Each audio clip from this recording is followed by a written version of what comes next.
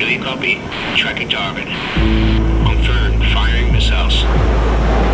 Since 2002, countries such as the US have used armed drones to target suspected militants as part of secret killing programs.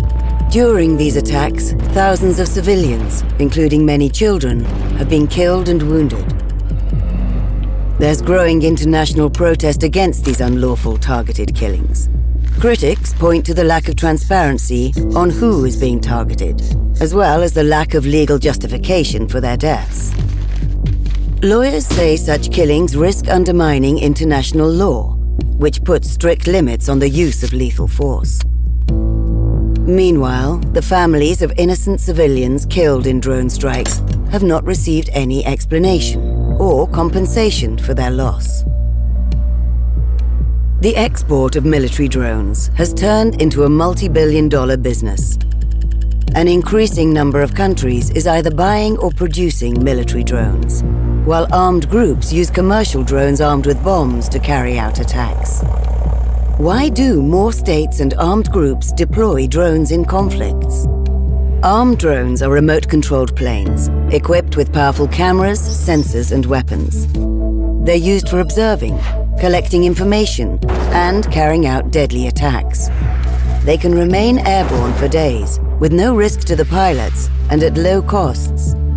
The next generation drones will be even cheaper, smaller, and able to fly in swarms.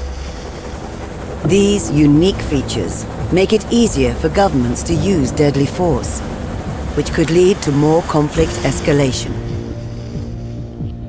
How does this concern Europe? More and more European countries facilitate the American drone program by offering logistical support or by providing crucial information used in targeted killings. Despite the European Parliament repeatedly calling for a clear position on unlawful killings by drones, the European Union and European states remain silent. Meanwhile, the same states are buying and developing armed drones themselves without clarifying how they will be used. That's why European civil organizations have joined forces and founded the European Forum on Armed Drones. EFAD calls for the EU and European states to articulate clear policies on the use of armed drones, prevent complicity in unlawful drone strikes, increase transparency, establish accountability, and improve export controls on drone technology.